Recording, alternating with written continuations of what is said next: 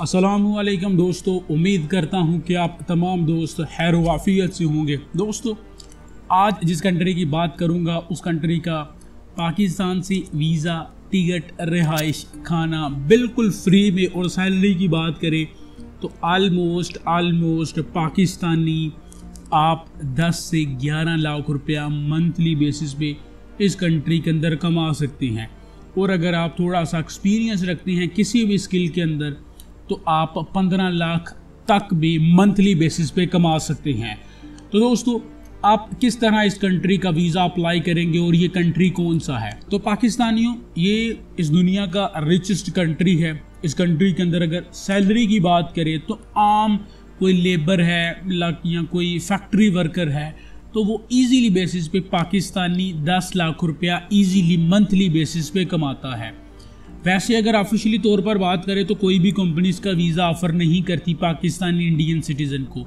लेकिन कुछ ऐसी ऑनलाइन वेबसाइट्स हैं, कुछ ऐसी रजिस्टर एजेंसीज हैं गवर्नमेंट की तरफ़ से, जो आपको ये वीज़ा प्रोवाइड करेंगे और आपका एक रुपये का भी खर्चा नहीं आएगा।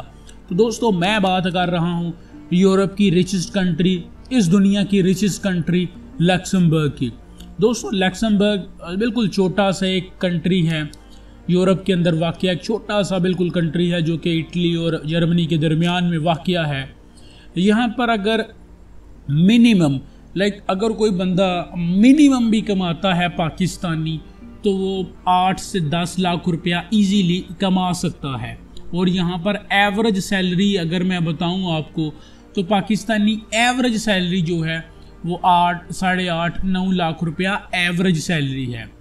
और इस कंट्री का अगर वर्क परमिट की बात करूँ वर्क वीज़ा प्रोसीज की बात करूँ तो ऑफिशियली तौर पर मैं पहले भी आपको बताया है कि ऑफिशियली तौर पर आप इसका वर्क वीज़ा अप्लाई नहीं कर सकते।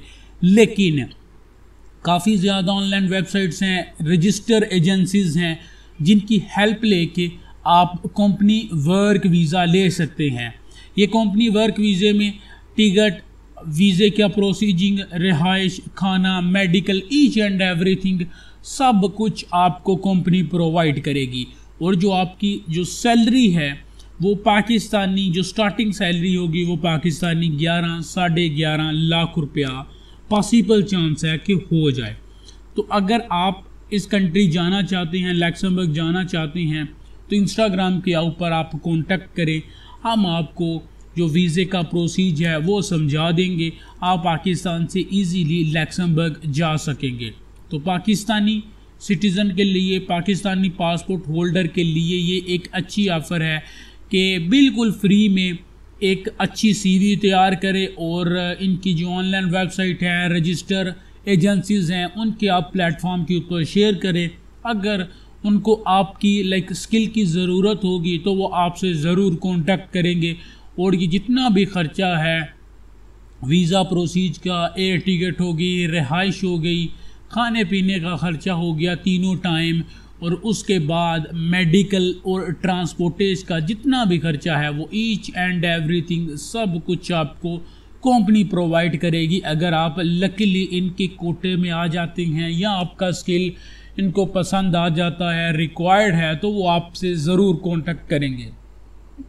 जितनी भी ऑनलाइन वेबसाइट हैं, उनका मैं लिंक इंस्टाग्राम के ऊपर दिया हुआ है तो आप चेक ज़रूर कीजिए और इंस्टाग्राम पर फॉलो कर ले। मिलते हैं इन आपसे नेक्स्ट वीडियो में। अल्लाह हाफिज़।